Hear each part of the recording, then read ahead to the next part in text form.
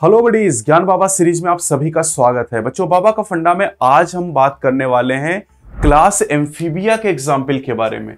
Amphibia class में आप सभी जानते हैं कि फ्रॉग आता है सेलामेंडर आता है, और भी कई सारे एग्ज़ाम्पल हैं। एनसीईआरटी में अगर आप पढ़ते हैं चैप्टर नंबर फोर तो एम्फीबिया में आपको मिलेंगे पाँच एग्ज़ाम्पल अब पाँच एग्ज़ाम्पल है, उनके scientific name common name total दस नाम हो गए।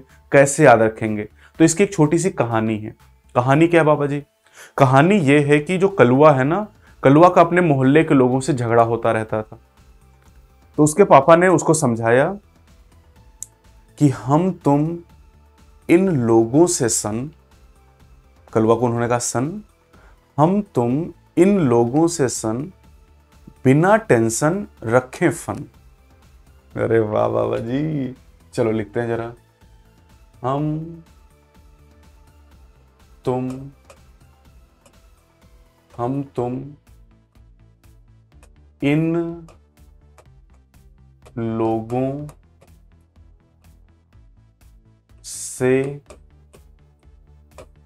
सन बिना टेंशन रखें। फन बिना टेंशन रखें फन चलो, अब इसको मैं समझाता हूँ कि दस एग्ज़ाम्पल कैसे याद करोगे। तो देखो, हम में आ जा रहा है एच तुम में आ जा रहा है टी तो एच का मतलब हो जाएगा यहाँ पर हाइला हाइला साइंटिफिक नेम है। कॉमनली इसको कहते हैं T for tree frog Hyla को कॉमनली क्या कहते हैं? ट्री फ्रॉग के नाम से जानते हैं। हाइला को ट्री फ्रॉग के नाम से जानते हैं।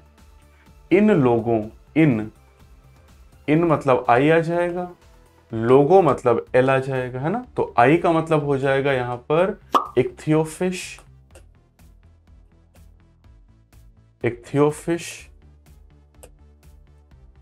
और लोगों में एल का मतलब आ जाएगा लिम्बलेस एम्फीबियन। ये लिम्बलेस होता है, इसमें लिम नहीं होते हैं।